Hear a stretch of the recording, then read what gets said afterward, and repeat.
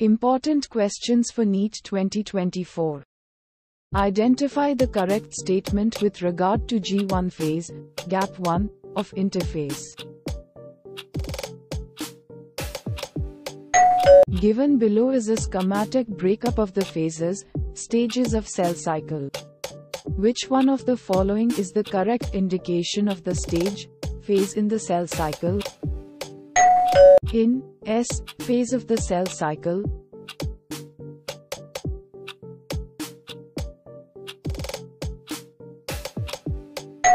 during which phase S of cell cycle amount of DNA in a cell remains at 4C level if the initial amount is denoted as 2C. A somatic cell that has just completed the S phase of its cell cycle, as compared to gamete of the same species, has when cell has stalled DNA replication fork, which checkpoint should be predominantly activated? During cell growth, DNA synthesis takes place on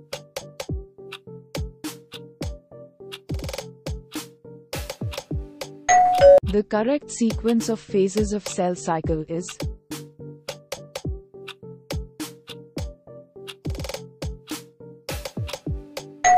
Cells in G0 phase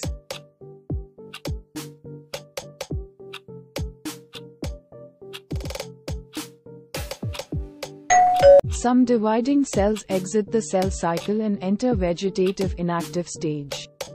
This is called quiescent stage, G0. Like this process occurs at the end of. Thanks for watching.